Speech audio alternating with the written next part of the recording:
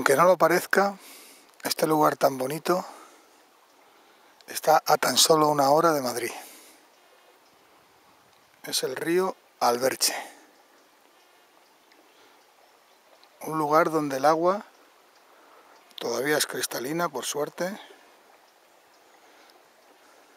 y donde nos podemos venir a refrescar y a pasar un día agradable, mientras no lo contaminemos y lo ensuciemos.